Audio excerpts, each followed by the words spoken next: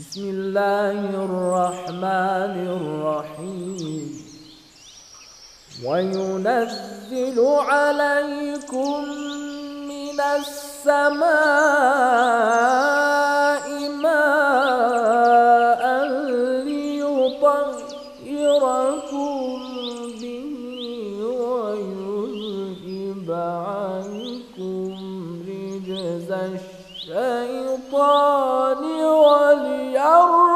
على قلوبكم ويثبت به الأقدام.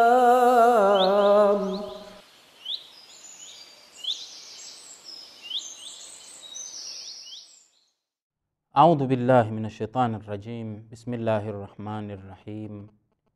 الحمد لله رب العالمين.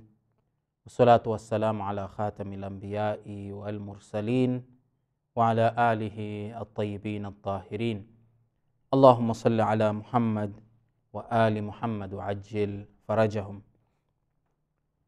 Kipindi kilichopita tulikuwa au tulizungumzia eh,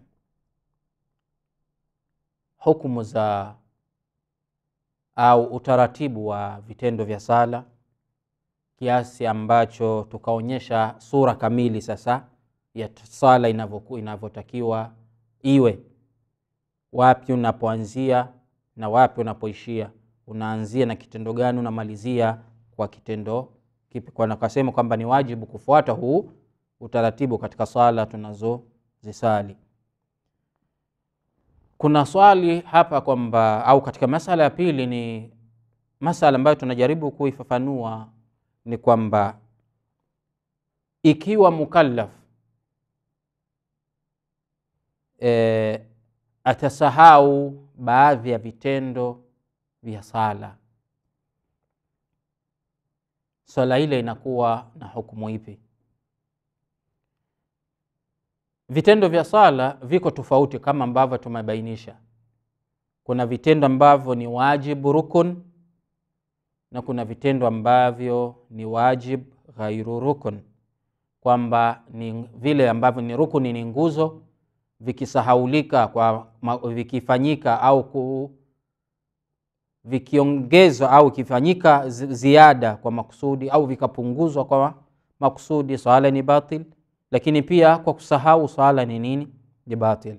Ama ghairi rukun vile ambavyo ni wajibu lakini si katika rukun. Na maana eh, vikifanyika kwa makusudi bimaana itakuwa swala ni batil. Lakini vikisahaulika mfano mtu akafanya kwa kusahau na swala yake ni sahihi na hakuna ishkali. Sasa katika masala hii e, ni kwamba ikiwa mukallaf atasahau kitendo ambacho ni rukun katika swala kitendo ambacho ni rukun katika swala na tulisema ni vitano bila shaka mukallaf anakumbuka na kuingia amesahau rukun na akaanza kufanya kitendo kingine ambacho ni wajibu. Lakini aula ameacha rukun kisha akaingia katika kitendo kingine pia ambacho ni rukun. Kwa mfano moja ya vitendo vya wajibu ambavyo ni rukun ni rukuu. Kitendo kingine ni sajida au sujud sajida mbili. Sasa tujalie kwamba mukallaf amesahau. Baada ya kusoma alhamdu na sura hakurukuu bali akashuka moja kwa moja na kwenda katika sajida na akakumbuka akiwa kwenye nini? Kwenye sajida au baada ya kuwa amemaliza nini? Sajida sala yake inakuwa vipi? Ni sahihi au ni batil? Wewe mtazamaji utasemaje? Kulingana na ufafanuzi tuloutoa hapo nyuma. Bila shaka jawabu lako itakuwa ni kwamba swala ni batil. Kwa sababu imepungukiwa na nini? Na rukun na mahala pa kuweza kuidiriki ile rukun um, ameshapavuka. Kwa mfano kisha sujudu au e, kishamaliza nini sajida hawezi tena kusimama na kufanya nini rukun. Kwa hiyo katika sura kama hii sala inakuwa ni batil. Hukumu yake ni nini? Ni batil. Kwa hiyo mukallaf akisahau rukun na kaingia katika rukuni nyingine. Bimaana swala ile inakuwa ni nini? Ni batil na kwa maana hiyo inabidi airudie ile swala. Kama mfano tulivyotoa kwamba amesoma alhamdu na sura. Baada ya kumaliza ilikuwa aende rukuu. Hakurukuu akaenda moja kwa moja wapi? Sajida wakiwa katika sajida au baada ya kumaliza sajida ndio akakumbuka kwamba hajarukuu ile sala inakuwa imefanya nini? Imekosa rukun na sala inakuwa ni batil. Hiyo ni masala ya pili au ufafanuzi wa pili. Ufafanuzi mwingine au masala ya tatu ni kwamba ikiwa mukallaf atasahau rukun kitendo ambacho ni rukun ni wajib rukun na akafanya kitendo kinachofuatia ambacho si rukun. Ni wajibu lakini si rukun. Kwa mfano kabla ya kusajid, kusujudu sajida mbili akasoma tashahud ambayo ni wajibu lakini si rukun. Kwamba ametoka katika rukuu akashuka chini kwa ajili ya kwenda sajida lakini akasahau kusoma sajida akajikuta anasoma tashahud ambayo pia ni wajibu katika sala lakini ni tashahudi inakuja kama tulivyoeleza ina mahala pake. Kwa hiyo hakwenda sajida badala yake akasoma nini? Tashahud. Kwa hiyo amesahau kitendo ambacho ni rukun na akaingia kwenye kitendo ambacho si rukun. Kama tulivyoeleza kwamba ilikuwa afanye aende katika sajida akasujudu sajida mbili. Lakini wakati ambapo ameshuka ili aweze kusujudu akasahau matokeo yake akakaa na kuanza kusoma e, tashahud anasema hapa e, ni kwamba haku, ni lazima ni wajibu kwa mukallaf kufanya nini? Kurudi na kutekeleza ile rukn. Hata kama atakuwa amesoma tashahud ina maana itambidi arudi afanye zile sajida mbili. Na kama ilivyosema kwamba tashahudi tayari ameshasoma na amemaliza. Hapa ana jukumu lake ni kwamba pamoja na kwamba amesoma tashahudi na kamaliza ina, maana kwamba inabidi afanye nini? Asujudu tena sajida mbili. Asujudu masajida ya kwanza ya pili. Akishamaliza ile sajida ya pili je tashahudi alizosoma mwanzo itakuwa imetosheleza jawabu ni kwamba ni hapana.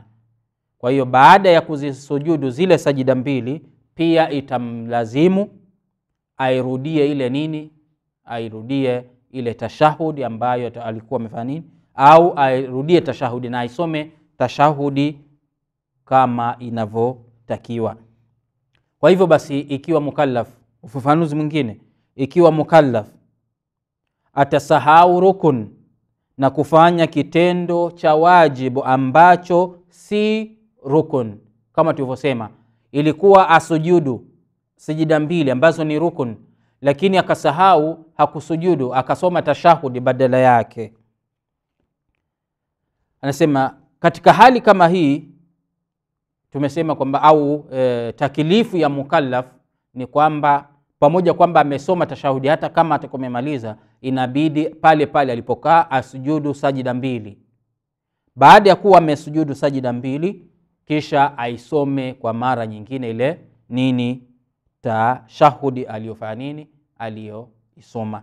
Kwa hivyo hii ndiyo taklif ya mukallaf pindi atakapokuwa amesahau rukun na kuingia katika kitendo ambacho si rukun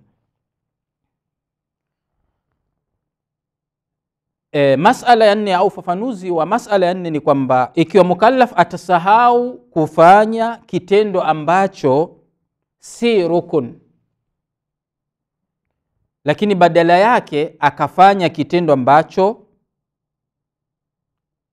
ni rukun lakini ni kitendo kinachofuatia baada yake. Ni rukun akaingia. Kwa mfano amesahau kitendo ambacho si rukun ni wajibu lakini si rukun. Na akaingia katika kitendo kinachofuatia ambacho ni nini? Ni rukun. Kwa mfano mukallaf amesahau kusoma alhamdu na labda na sura. Ilikuwa takiwa asome alhamdu na sura ni wajib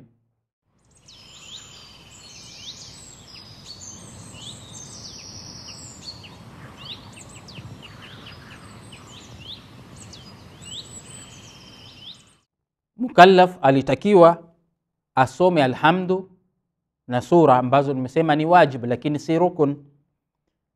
Sasa hakusoma matokeo yake akaenda rukuu akainama kwa ajili ya nini? Ya rukuu. Kwa sababu rukuu inafuatia baada ya qiraa. Na rukuu ni rukun kwa hiyo amesahau kitendo ambacho ni wajibu si rukun.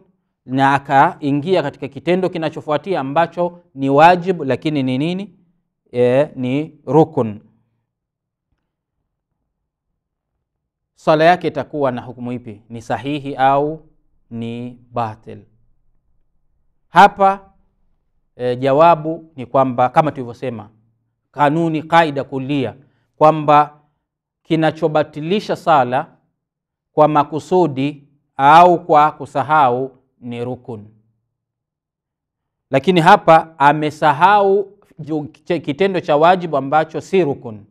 Akaingia kitendo cha wajibu ambacho ni rukun. Kwa hiyo kilichosahaulika kwa sababu adamu ni kusahau ina maana swala ni sahihi na haina ishkali na ataendelea hadi mwisho e, wa sala kwa hivyo ufafanuzi huu e, ni vema mukallaf kutilia maanani na kukumbuka kwani hutokea mara kadhaa kwa mukallaf pindi anapokuwa katika nini katika sala mpaka hapo tutakuwa tumemalizia e, hukumu zilizokuwa zinahusiana na utaratibu au taratibu katika sala. lakini pia jambo jingine la wajib ambalo e, mukallaf au ni wajibu katika swala au jambo jingine ambalo ni wajib katika sala e, ni ile mualat au kufatanisha kati ya matendo ya sala. Bimaana kutoachanisha kati ya vitendo vya sala kati ya matendo ya nini? Ya sala. Na mualat ina maana ni kufatanisha kama tulivyosema ni kitendo kimoja baada ya kingine kimoja baada ya nini? Ya kingine. Kwa hiyo hii ndiyo nini mualat? Ni wajibu pia kulinda. Kwa mfano kama pia tulivyoeleza katika, katika udhu kwa mfano mtu anatawadha anaosha uso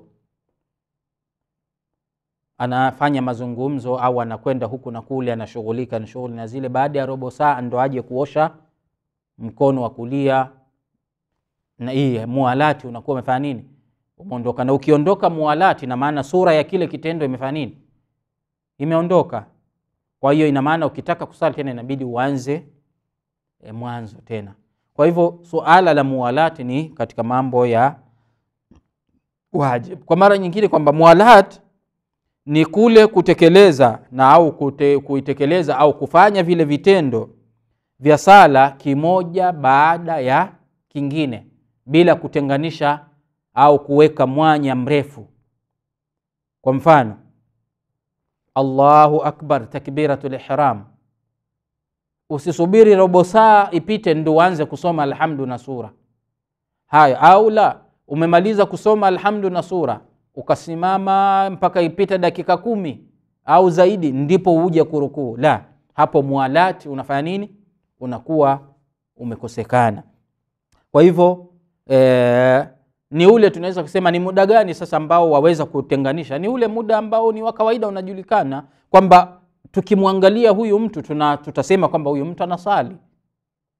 Ama ikiwa ule, ule fasil na ule mwanya kati ya kitendo ki- hiki na kile kinachofuatia ni mpana sana na maana watu wasema huyu hasa, hayuko katika sala yuko katika mambo mengine. Kwa hiyo mwalat tuseme ni ile mwanya wa kawaida ambapo e, ni wenye kujulikana. E, sedeke nini sekunde moja sekunde mbili labda hata tano na kitu kama hicho kwamba ni muda ambao kwa ujumla e, hautamfanya mtu atoke katika ile nini sura ya nini ya sala. Kwa hiyo kufatanisha ni kulinda ile e, kutenda vitendo vya sala kimoja baada ya kingine. Kwamba hichi kinakifuata hiki kinatoka hiki kinafuatia hiki na kuendelea na matendo mengine. Kwa hiyo hii pia ni katika mambo ya wajibu katika nini sala sasa ikiwa katika swala kwamba kunatakiwa kuwe na mualati swali ni kwamba ikiwa kutajitokeza au mukallaf ataweka mwanya mrefu au mkubwa kwa kiwango fulani au kwa kiwango kisichokuwa cha kawaida kati ya vile vitendo vya sala akatenganisha kama tulivyotoa mfano. Ina maana baada ya kutoa takbira ina maana baada ya robo saa ndo anaanza kusoma alhamdu amesoma alhamdu. Au baada ya kusoma alhamdu na sura baada ya dakika kama kumi hivi au dakika muda kadhaa ambao ni mrefu kiasi kuliki, kwa kiwango ambacho si cha kawaida ndipo akaenda nini? E, rukuu. Je ikiwa kutawekwa mwanya kiasi hicho je kuna madhara yoyote katika sala? Jawabu ni ndio kwamba kunapelekea halal na e, tatizo kwamba sala ina, inabatilika.